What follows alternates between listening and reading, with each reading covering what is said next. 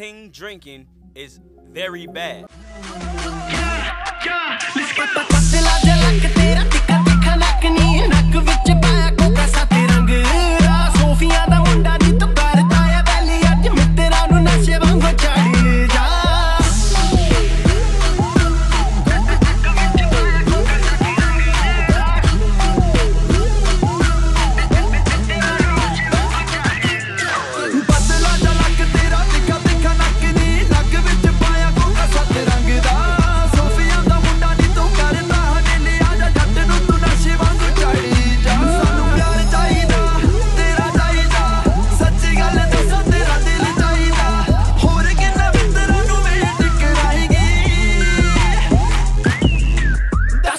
ਮੁੰਡੇ ਨੂੰ ਤੂੰ ਇਹ ਚ ਫਸਾਏਂਗੇ।